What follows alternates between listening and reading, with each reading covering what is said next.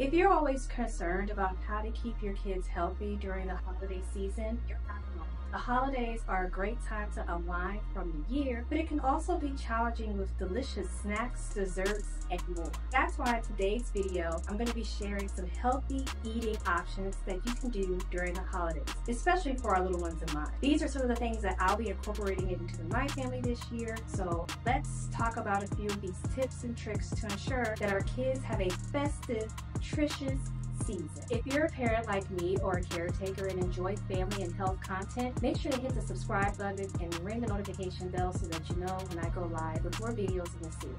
Now let's get into making this holiday season nutritious and healthy. The first tip on how to make this holiday season healthier is to get your kids involved. One of the best ways to encourage healthy eating is to involve your children. Whether it's shopping for ingredients, helping with meal prep, or decorating healthy snacks, make it fun and engaging for everyone in this experience. You can also do this by taking them grocery shopping and letting them choose fruits and veggies. Create a holiday themed snack making station. Make food art together with colorful and nutritious ingredients and teach them about the different benefits of different foods. The next tip I have for you when it comes to having a healthier holiday season is to try to stick with balanced, healthy holiday meals. During the holiday season, you want to ensure that children are getting a mix of essential nutrition by including various foods in their holiday meals. To do this, you can include protein source like turkey, chicken, or beans, offer a variety of colorful fruit and vegetables, incorporate whole grains into side dishes, and limit the sugary treats and focus on healthier dessert options.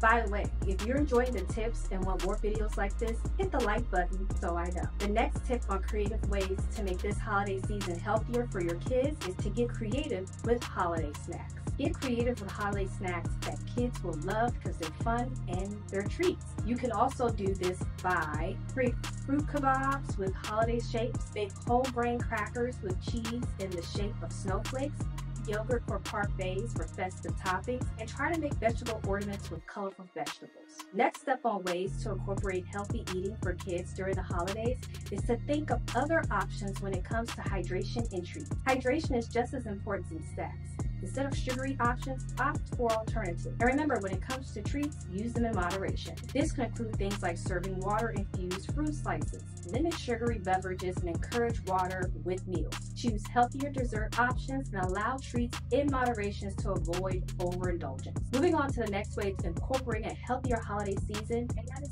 be active a family. Not only is it about staying active during the holidays, but create family traditions that involve movement and play. Take a walk after the big holiday meal, games, or holiday themed scavenger hunt. Turn up with music and have a holiday dance party. That's always fun. Well, this comes to the end of the holiday series. Thank you so much for watching all the videos in this series. I hope you learned some great tips on how to make this holiday season even better. Remember, as moms, our goal is to make the holiday season as special for our kids as it was for us. If you missed any of the videos in this series, I will make sure to link them here so that you can watch and catch up on any of the tips I share which includes stress management during the holiday season, budgeting during the holiday season, gift ideas under $50, and easy holiday activities for your kids. Thanks so much for watching, and I'll see you in the next one.